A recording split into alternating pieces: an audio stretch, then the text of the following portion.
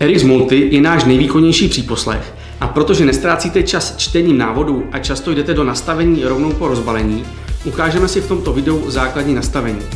RX Multi dokáže spárovat až 4 signalizátory, 3 alarmy ALF 3 a bezdrátové LED lampy.